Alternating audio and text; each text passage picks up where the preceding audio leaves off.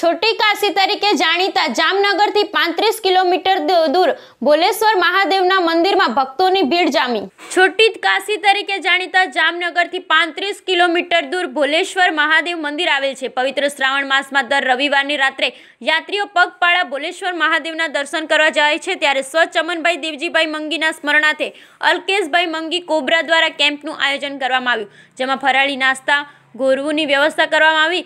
આ કેમ્પમાં આશરે લગભગ ચારસોથી પાંચસો પદયાત્રી અને દર્શનાર્થીઓ પંદરસો જેટલાએ પ્રસાદીનો લાભ લીધેલ.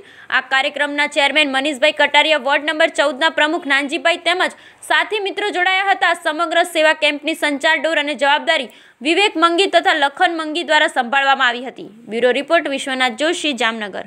સર્વપ્રથમ આપણા ન્યૂઝ ચેનલની અંદર સર્વદર્શક મિત્રોનું સ્વાગત છે. આ જતા જ રોજ આપણે ભોળેશ્વર મહાદેવ મંદિરના જે રોડ ઉપર આવેલ જેટલા પદયાત્રીઓ છે.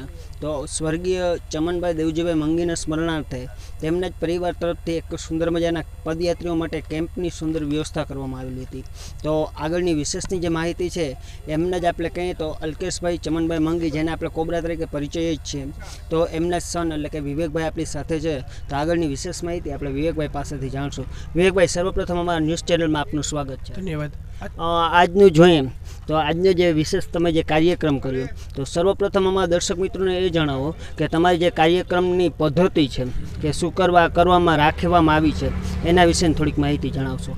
મારા પિતાશ્રીની થોડીક ઈચ્છા હતી કે પિતાશ્રી માટે, તો કોઈ નાનકડું એવું સેવાકીય પ્રવૃત્તિ કરી, જે આ હાલીને આવતા પદયાત્રી માટે રાખવામાં આવેલ છે, જે બેથી અઢી હજાર લાભાર્થીઓ તેનો લાભ લીધેલો છે, જેમાં થોડોક પ્રસાદનો અમે ઉમેરો કરેલો છે. ધન્યવાદ. એનાથી આગળ જોઈએ તો આ આપણે આમ જોઈએ કે આમ ઘણા વિશેષ માહિતી અમને સમાચાર આમ ફરતા હતા ત્યારે મળેલી હતી. આ અંદાજે તો કેટલા સમયથી તમારી ઈચ્છા હતી કે આ કાર્યક્રમ કરવાની? છેલ્લા બેથી ત્રણ વર્ષની ઈચ્છા હતી કોરોના કારણના કારણે હાલમાં અમે માલ મુલતવી રાખેલું હતું. પણ આ વર્ષે થોડું ઘણું કોરોના અડવું પડવાના કારણે આ વખતે અમે આયોજનો કરેલ છે. ધન્યવાદ.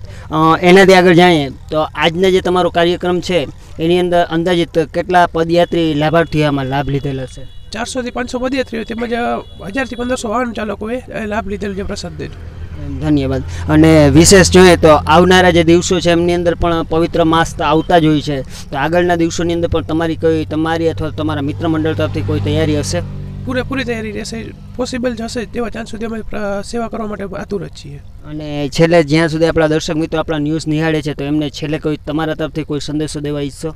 સોશિયલ ડિસ્ટન્સનું પાલન કરવું. તેમજ શ્રાવણ માસ છે, સાતમ, આઠમનો તહેવાર માથે છે બને. ત્યાં સુધી સોશિયલ ડિસ્ટન્સ રાખી માસનું પાલન કરવું. ધન્યવાદ. તો મિત્રો, આ